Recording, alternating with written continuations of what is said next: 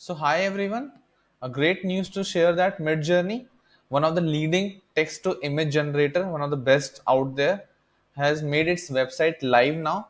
Earlier it was just available over Discord channel, which was also closed. It was not access it was not accessible to everyone, but now the website is av- available. And the best part being it is also giving 25 free images for everyone to try out Midjourney. So it's a great chance to use. So let's try it up. So first of all, you need to log in into the Midjourney website. I'm logging into my Google account. Now this is how the dashboard looks like. Looks quite interesting. Uh, looks quite intuitive. Here you can see that you have got about 25 free images remaining in your trial.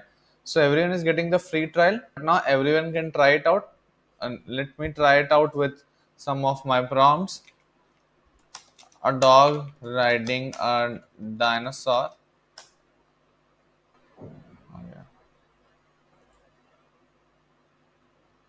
So as you can see that the generation is in progress. About 33% is complete it will take some time i assume.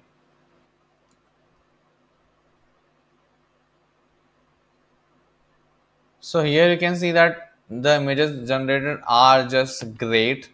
I think it's worth trying out. Midjourney i haven't tried it before but the results are just awesome as you can see. Apart from that there are multiple other options present on the website that you can play around with. You can chat. You can have task subscription available. You can explore other image generated by people as well. So a great chance to explore one of the strongest text to image models. Here you can change the size as well. Aesthetics different tones different model versions speed.